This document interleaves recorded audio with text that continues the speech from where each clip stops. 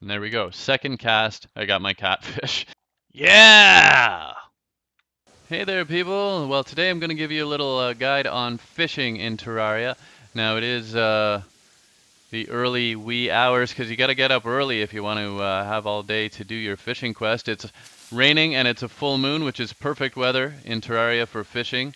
So it's about to be 4:30 a.m. as well, which is when the day starts. Um, but let me tell you a bit of, about uh, what you need to know uh, about fishing in Terraria. The first thing is, of course, you need to find your angler NPC if you want to do your angler quest, your fishing quest. I've hidden him down in this tree. This is a different world than I've usually been showing you because uh, this is the world that I've been doing my fishing stuff in just recently. I was doing it for fun, but I thought I'd show you what I've been up to. Um, so you'll find the angler here. Mine's named Grayson. You'll find him in the ocean biome and uh, he'll just be floating on the water. So you want to wait until he's fairly close to shore and wake him up. Uh, just click on him and uh, have a little chat, and then he'll be yours. He'll move in if you have a spare house, which is how he ended up here. I could have built him a better one, but I thought this was kind of cool. um, so he'll wake up and he'll be able to give you uh, fishing quests every day. So just to demonstrate, it is after 4.30, a new day has started.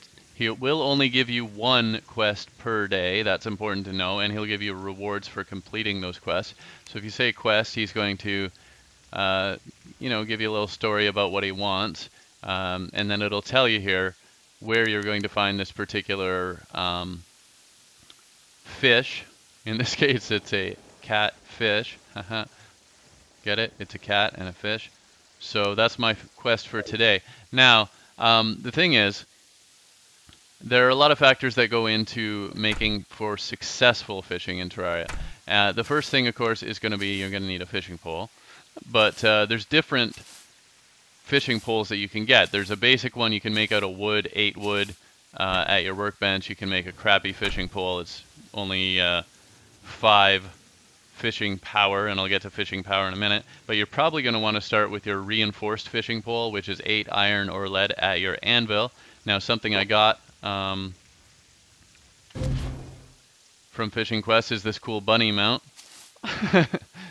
so that's going to help me get over to the jungle a little quicker. I just accidentally uh, pushed the wrong key and used some of my potions. Let's not worry about that though.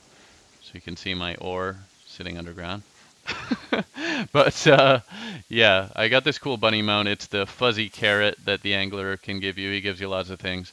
Um, I've also got all kinds of information over at the side here. Um, two of the things that it's showing me are from Fishing Quest as well. Actually, let me stop here. This is one of my fishing holes, um, and I'll tell you a little bit about how this works as well. So the weather and the moon phase, I got those from Fishing Quest. The sextant um, shows you the phase of the moon, and the weather radio displays the weather. Now, uh, what I did here, well, again, yeah, you're going to want to start with your reinforced fishing pole, you're probably going to also want to um, create yourself some, some little areas to fish in different biomes. So this is my surface biome fishing place. Um, you can also upgrade to the Fisher of Souls or the Flesh Catcher a little later before hard mode um, with 8 Demonite or Crimtane bars at the anvil. And sorry, that was 8 iron or lead bars at, bars at the anvil to do the reinforced fishing pole. There are also later um, stuff available, later uh, fishing poles you can get. But I want to tell you something um, about this. Actually, let me let me tell you. You can get some of the fishing poles for doing some of those quests. Like you will automatically get the golden fishing rod for the 30th quest on PC or mobile. Uh, if you're on console, it's going to be the 50th quest. When you complete that many fishing quests, you'll get the golden fishing rod, rod, which has the highest fishing power. Again, I'll tell you about fishing power in a second. You can also get the hotline fishing rod, which is the only one that can fish in lava, but it's a pretty low chance. You have to do a lot of quests um, or just get lucky. and he, you might get that as a reward. Now, fishing power. That's why we stopped right here. Because the size of the pond you're fishing in uh, matters, which is why, of course, it's easier to get stuff in the ocean. But what matters actually is the surface area and then the depth. Um, and that's why I've dug this the way I did.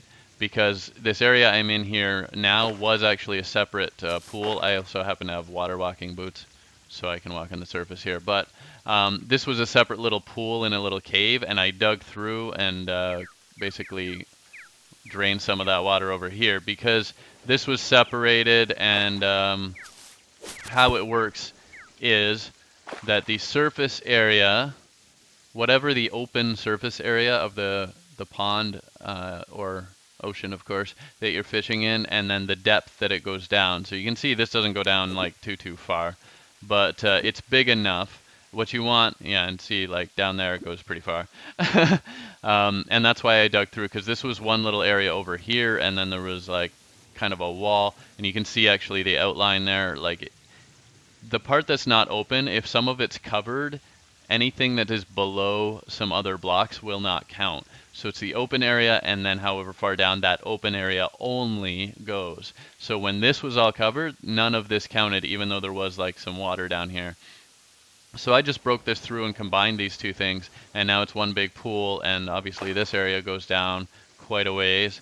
And uh, so since this there these blocks don't quite touch the surface, the surface is open, so this counts as one big pool all the way down to there. Um, and there's some specifics on the wiki about like how many blocks you need, but basically the, the larger the size, uh, the better off you're going to be. Um, that matters quite a lot actually. You get a big penalty if you don't uh, have a big enough area. So I've gotten uh, to the point already, I've only done like 10 quests, but even in just 10 quests, I'm able to, uh, a couple of times I was able to just grab the fish that I was questing for on the first cast. And uh, your fishing pattern or power um, decides both the quality of the catch you're going to get um, and the likelihood of getting the rarer things that you might be able to get. And there's a lot of things you can get. Um, you can get not only the quest fish, and on these quests you can you can fish anytime, and you can get crates. Um, and there's different rarities of crates. The crates will give you like cool loot and stuff. Oh, good. My bunny can run on top of the water, too. I wasn't sure about that. Okay, so, uh, whee! All right, so this is a good example of what I'm talking about. This jungle fishing area is actually not ideal. You can see this is, you know, it's it's big enough and it's deep enough, but uh, it narrows here, and anything that's underneath this ledge is not going to count. So what I'm going to do is uh, cut this open a bit, and then I'll get back to you when I'm done that, just to show you uh, what a good fishing area is. Okay, so what I've done here is just uh, cut out most of this middle section, and now I'm going to start carving out the parts in between and just inundate that uh, middle area so that this all becomes one big joined thing. I'll try not to drown doing it. which is why I carved a few little air holes on the way here. But uh, yeah, this is going to become one giant pool uh, with one large surface area, and that's going to help me to uh, have, you know, a big surface area times a large depth, and that's how you get one large um, fishing area. And you can do this like all over different uh, biomes, different areas of your world. And uh, that's going to give you what you need in terms of uh, having somewhere good to fish. And I found, like, if you're going to do a lot of quests, it's worth it to do this. Obviously, if you're just fishing occasionally, um, maybe you don't want to. But if you if you want to get loot from different biomes, which means, like, different types of crates, different uh, types of quests, then it's worth it to to do a little bit of this in like all different biomes and and that way you have um, you know, somewhere to go.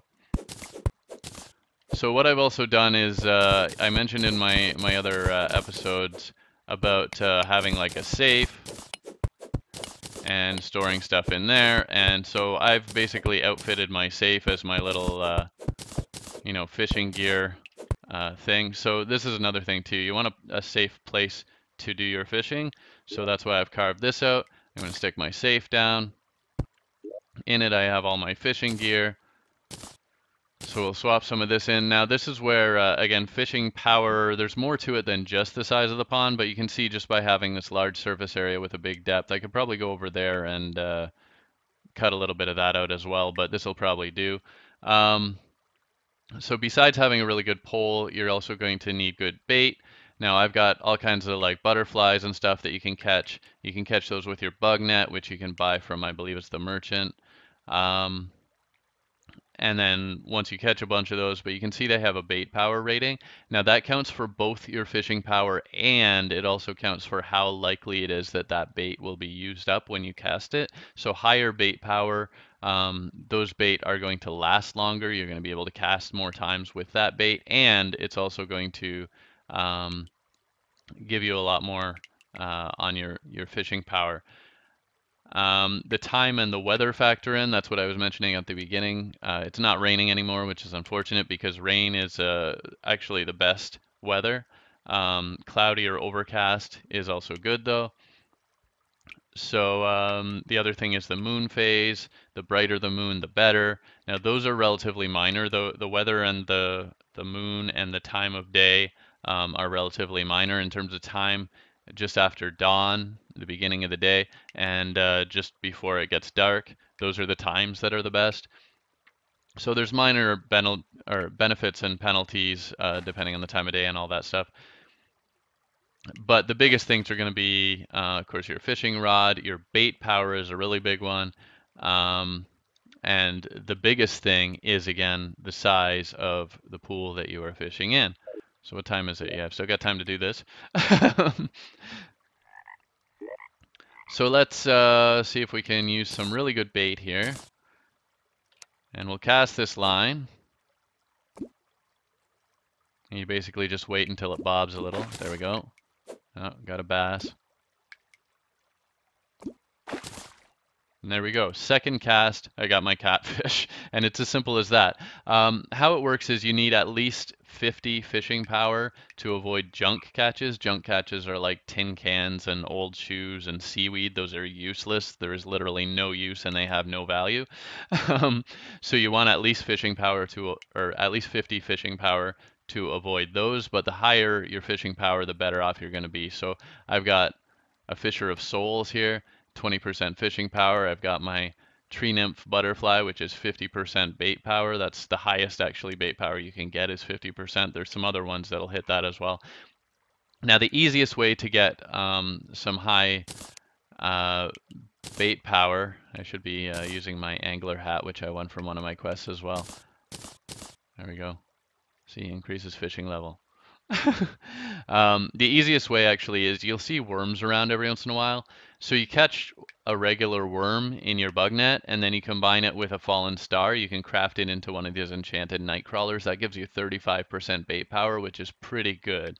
Uh, you won't find much else that's that that high. You will occasionally find things like this tree nymph butterfly that are higher, but that's the easiest one you can get pretty regularly is to make some enchanted night crawlers.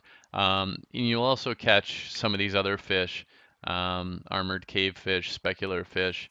Um, those are useful. See, they're classified as material, and you'll notice that um, when you put your mouse over or your uh, cursor over. Um, some of them are material. The bass and the Atlantic cod you can make food out of at your uh, pot, and those will give you the well-fed buff. But these ones will let you make potions. Um, and anyway, there's all kinds of stuff you can get. You can also get these crates. So let me uh, let me just show you what crates are good for because I got a bunch of them and I've been saving them up and that's another tip I'm going to give you. Um, you can save your crates. Your crates are going to give you things like uh, ore and bars and stuff. So there we go. I actually got some bait out of that one. You'll get potions, uh, I've got bars, and tungsten isn't even in my world, so that's how you can get rare ores that aren't in your world. Um, so I got some bars and some ore. Anyway, you can also save up your crates until you get into hard mode. And then as soon as you get into hard mode, unpack a whole bunch of those, and that's a little trick actually to uh, get lots of hard mode ores as soon as you start hard mode. Anyway, let's go back and see our good friend the angler because I got a little catfish for him. I'll carry a torch so you can see what the heck I'm doing. All right. so here we go. All we got to do is come back to the angler, talk to him, and he'll see I've got the catfish for him. There we go. And again, you can only do one per day, so it's now 11:20 p.m. Um, I gotta wait until 4:30 a.m. to start my next quest. Uh, so that's it. You just go day by day doing your quests. You don't have to do them as quests. You can fish anytime, um, and you can get things like crate. You'll also get uh, the crate potions and things like that. And of course, I was dumb and I left my, uh, but I got master bait. See, that's master bait. 50% bait power. Again, highest you can actually get. That's why it's the master bait. anyway, um, you can get all kinds of items. But the crates, uh, you can you can fish in rare biomes to get you know rarer crates and uh, rarer fish and things like that. I'll give you the links on the the wiki um, about all the details. Basically, I'm going to give you the fishing link, and there's all kinds of things linked from that as far as like the angler and you know crates and bait and all that stuff that's going to factor in to how well you're going to do. Um, so I think I covered everything. I uh, hope you liked the video. Thanks for watching. Please subscribe if you haven't already, and bye for now. I'll see you next time.